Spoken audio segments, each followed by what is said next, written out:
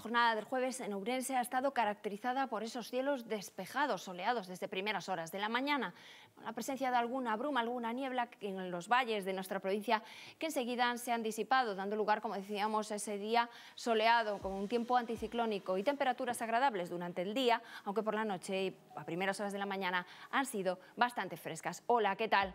Estamos en influencia anticiclónica y en la jornada de viernes continuaremos. En la provincia de Ourense tendremos cielos prácticamente despejados desde primeras horas de la mañana, con la probabilidad de la aparición de alguna bruma matinal en los valles de nuestra provincia que se disiparía enseguida y durante toda la jornada, como les decía, lucirá el sol en nuestro cielo. Las temperaturas van a ser altas, van a subir un poquito más, registrándose temperaturas por encima ya de los 30 grados en varios puntos de nuestra provincia. Si esperamos en Urense 32, también en Rivadavia esperamos esos 32 grados y ya por encima de los 25 grados, Carballiño 29, en muchos puntos de nuestra provincia, en Obarco, esperamos ya que se alcance también los 30 grados. Las mínimas van a ir recuperándose, no será una mañana tan fresca, aunque sí que nos va a hacer falta chaqueta por la mañana en muchos puntos de nuestra provincia. 12 grados de mínima en Urense, también 12 en Rivadavia, 10 en Maceda, un poquito más baja en Berín con 8 o Sinzo, que tiene que esperamos mañana 7 de mínima. Los vientos van a ser flojos y serán variables durante toda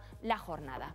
En Galicia seguiremos con influencia anticiclónica y esperamos que los cielos estén despejados desde primeras horas de la mañana en prácticamente toda la comunidad. La probabilidad de aparición de nieblas existe en algunos puntos del interior de la provincia de Lugo y de Ourense, como les contaba antes. En cuanto avance la mañana y siga la tarde, esas, ya les digo que la poca nubosidad que había en el noreste de la provincia de Lugo debido a esos vientos del nordés se irá disipando. En cuanto a los vientos, van a ser flojos, serán de dirección variable, a excepción del litoral norte, donde esperamos que sean moderados del nordés con rachas fuertes en la zona de Estaca de bares. En cuanto a las temperaturas, van a subir y notaremos esa subida, se va a notar más en el sur que en el norte, pero en el norte van a subir 24, ya que esperamos de máxima en Coruña, en Lugo, al igual que en Ferrol. En Santiago ya se esperan 28 y ya 29, tanto en Pontevedra como en Vigo. En las mínimas también vamos a notar ese ascenso, se esperan 14 en Coruña, 13 en Santiago, 9 de mínima en Lugo, tan solo va a ser una noche un poquito más fresca, pero ya destaca, por ejemplo,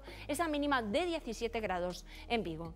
En la península ibérica, el viernes estará enmarcada en la meteorología por la situación anticiclónica, así que prácticamente toda ella tenemos esos cielos despejados, soleados, algo de nubosidad de tipo bajo en el tercio norte y se espera que a medida que vaya pasando la tarde aparezca nubosidad de evolución en el interior de la península. En Baleares tendremos también cielos despejados y en Canarias tendremos algo de nubosidad al norte de las islas. Este día las temperaturas se espera que suban en el interior peninsular, siendo especialmente elevadas, rozando los 35-36 grados en el valle del Guadalquivir y también se espera que suban en Canarias, no teniendo cambios significativos en el resto.